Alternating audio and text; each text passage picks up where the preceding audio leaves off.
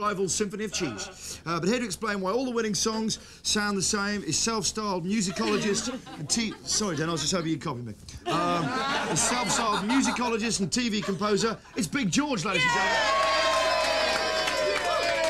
Oh, George! Welcome to the Big Breakfast. Well, Can I just say you are definitely a bit of a fool?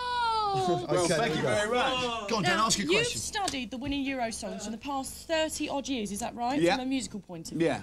And when did you do that? Have you Well, I, I started a couple of weeks ago. I done a program for Channel 4. Are you allowed to say Channel 4 or glorious Channel Of course, because it's a glorious It's the glorious channel. channel. for God bless Do that, Channel 4. Britain's leader. Yeah. Thank you. Right. Yeah, so I was doing a program for Channel 4 that went out last Channel 4. Saturday. Channel God bless it. And uh, so I was just um, sorting it out. And yeah, so I've had a look at the techniques of how to write a Eurovision winner. Did you notice that all the songs, some of them sound very, very similar? They're I all very formulas. much Same did beats, notice yeah. that they do. Yeah. There's, I mean, there's a formula about it, really. Okay, we'd like to take you through the three, the, what we've broken down into three elements of that formula. Okay.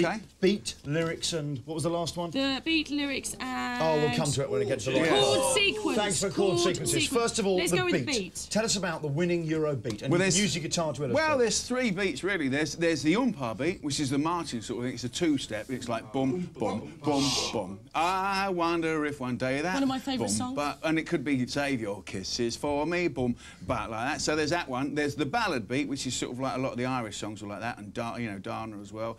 Maybe Love Shine a Light was a bit in that vein. And then there's the bit of a shuffle rock and roll beat, which is Bucks Fizz or. Um, Could, could you demonstrate this with the... With the well, I could do, yeah. Yeah, I mean, let's- like let's the. hear the Um, beat. Just get the... well, I mean, with the uh, ballad, it'll be sort of like all kinds of everything remind me of you. Right, okay, yes. Isn't that lovely? Yeah, it is lovely. Right, really and then we've got the um, the oompah beat, which would be I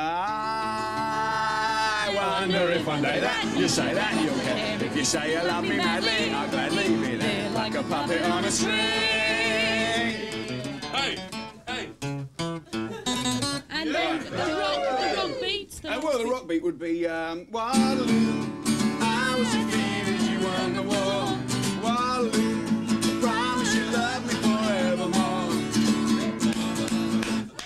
Fantastic. Fantastic. Okay, what about the lyrics? What about the lyrics? Listen to the lyrics. What's your Well, the, theory yeah, on the, well, the Eurovision lyrics. I mean, you, it's, you basically have to be pretty simple. Although the the um, You have to be pretty simple. uh, yeah, I, I mean, and for drummers out there, there's a lot of onomatopoeic words, which are sort of like noises that are the same as the words, like ding-a-dong. and ding a.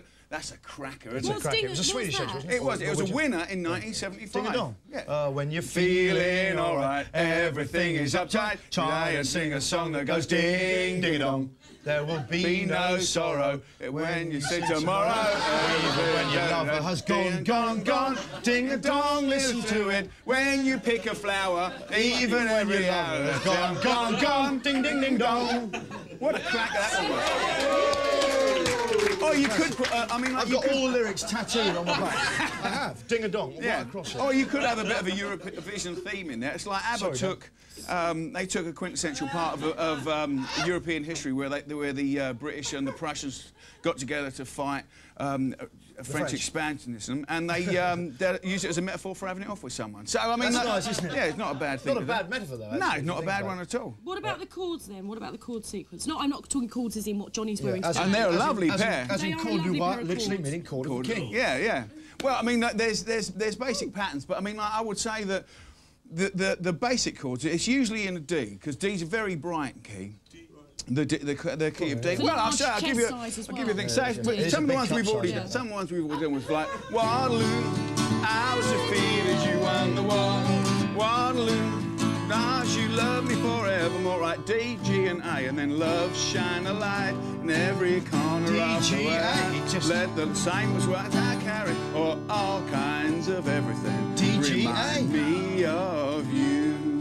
Yeah, I mean, Ace of Base could have been in there, which would have been. Um, Oh, Oh no, don't, don't.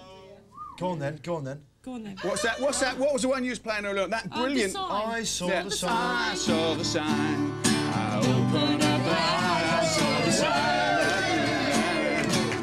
the eye, I saw the sign. Same chords, Yeah. chords. Would that would have won the Eurovision, do you reckon? Ace Oh, of definitely. Well, I don't know. It's a bit. Con- see, you, you've got to be conservative about it. See, because the, the, the Eurovision's voted on by people that are heads of sort of like big corporations. You know, like the head of Channel Four might vote for it. You know, and it's like, and they sometimes a bit conservative. Not in this country, but sort of like in, in Israel or somewhere. They don't want to have sort of like any drum and bass and things. No. So the Shamen won't be entering and winning. I mean, No. I mean, basically, if, if Sandie Shaw why was Gina in, G didn't win. it- well, yeah, a little bit too. Now, why conservative. didn't Gina G? She, she obeyed all the rules. Yeah, it's like ooh ah, little bit, ooh ah, a little bit more, ooh ah, just a little bit. You know what? I Well, want I'm getting sore. Ooh, I'm getting sore. Those aren't the lyrics. I Well, it could be. You know why I'm getting sore? Isn't You that? know what I'm looking for.